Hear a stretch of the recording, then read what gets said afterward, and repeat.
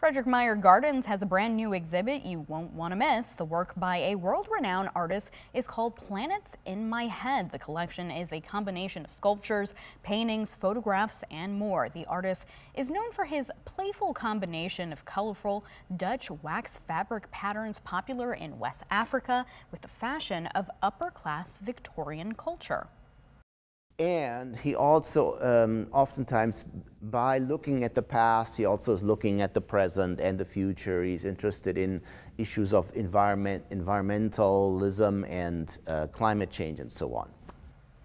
The exhibit will be at Frederik Meijer Gardens until October 23rd.